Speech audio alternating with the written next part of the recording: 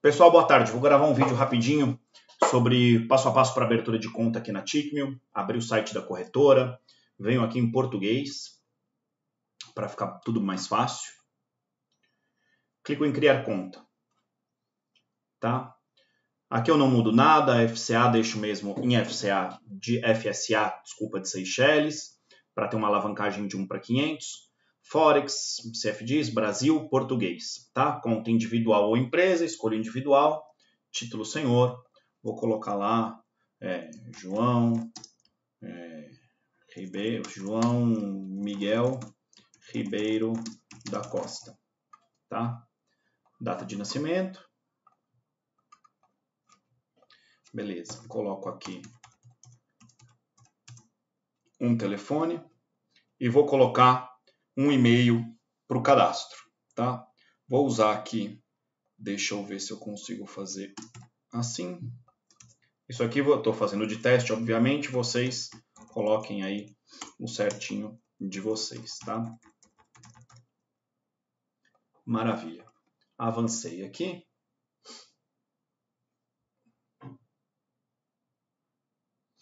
Legal coloco todos os meus dados, vou colocar aqui, às vezes, né, do computador de vocês já vem preenchido, mas vou colocar aqui Paraná, cidade Curitiba, nome da rua, rua Antônio José, 884, Jardim Alvorada, 856, Jardim Alvorada, código postal, beleza? Número da identificação fiscal, CPF vai aqui, tá, pessoal?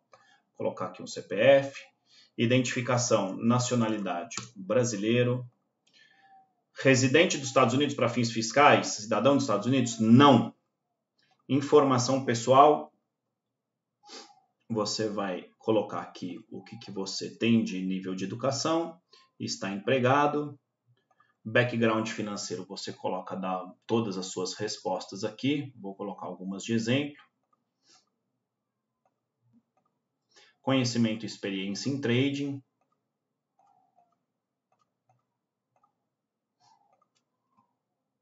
Outras perguntas aqui. Se a sua profissão tem a ver com o mercado financeiro. Introducing broker, essa é uma parte legal. Se você veio de algum link indicado é, de um introducing broker, aqui já vai vir preenchido, tá? Caso você é indicado de algum introducing broker, de algum IB e não veio pelo link dele, coloca aqui o código, tá? IB, coloca aqui o código dele. Tem que colocar o código certinho, senão não valida, tá? Se você não veio de nenhum, deixa em branco. Escolhe o password. O password tem que ter maiúsculas e minúsculas e pelo menos é, oito caracteres. Coloquei aqui, sim, concordo. Eu declaro abrir conta. Bacana. O que, que vai acontecer? Vai um e-mail é, para você hum, para você validar esse processo de abertura de conta, tá? Chegou esse e-mail, clicou no botãozinho de validar conta. Vou ver se já chega aqui para mim, acho que já chegou. Vou tentar mostrar para vocês a cara dele.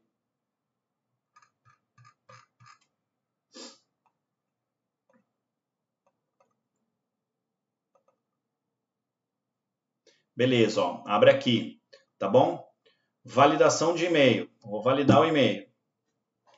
Ele vai me abrir outro, outra abinha do navegador, tá? É...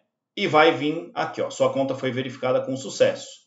Maravilha. Você vai fazer login com o e-mail e a senha que você acabou de cadastrar e vai entrar no portal do cliente, tá? O que, que você vai fazer no portal do cliente? Vai subir os seus documentos. Então, o que, que você vai subir? Sua identificação, o que, que é aceito? RG válido, tá? Não pode estar molhado, comido, ilegível, tá? Um RG bom, em bom estado, emitido nos últimos 10 anos. Não pode estar com foto de criança. Não passa, tá? CNH válida, legal? Ou seja, não pode estar vencida e nem prestes a vencer. E passaporte tá? Um dos três você vai ter que mandar. Sempre frente e verso, sempre colorido, sempre legível e sem flash, aquele flash que você não consegue ler o que está escrito nem na ponta. Para não ter problema de a conta ser negada e ter que mandar de novo, tá? Comprovante de domicílio. O que, que você vai mandar? Uma conta de luz, água, telefone extrato bancário, sempre a parte de dentro onde esteja legível nome completo, data, tem que ser um comprovante de domicílio dos últimos três meses, e o endereço completo igual ao que você cadastrou, tá bom? Você precisa mandar esses dois. Se não atender essas especificações, a conta não é aprovada. Às vezes o pessoal pergunta: ah, é, posso mandar o comprovante de domicílio o nome do meu pai? Da minha mãe? Não, não pode. É, nome da minha esposa? Não pode. Tá? O cara fala, ah, eu não tenho nenhum comprovante de domicílio. A conta não vai ser aprovada. Tá? A gente precisa de um comprovante de domicílio no seu nome. Por quê? O cliente tem que ter pelo menos uma conta em banco, porque dali ele vai depositar fundos para a gente. Um cliente que não tem nenhum comprovante de domicílio não tem nem como é, ter aberto uma conta no banco. Então não tem como mandar capital para a gente. Tá? É, se vocês tiverem alguma dúvida sobre os documentos, alguma coisa, manda um e-mail para o suporte ou contata, contata a gente lá no live chat que a gente ajuda vocês, tá? Mas precisa ser dessa maneira. Beleza? Mandou o documento aqui, clicou em enviar, depois que você é, subiu o documento aqui, ele habilita um botãozinho para enviar. Em até 48 horas o back-office vai mandar um e-mail para você, tiver tudo certo, você vai fazer login aqui de novo, vai abrir a conta MT4, vai receber a senha dessa MT4 por e-mail. Cada cliente pode ter até 10 contas MT4 no mesmo e-mail, no mesmo CPF é, e vai fazer depósitos, saques, tudo por aqui. Tá bom? É isso aí, pessoal. Qualquer dúvida, entre em contato com a gente. Um abraço.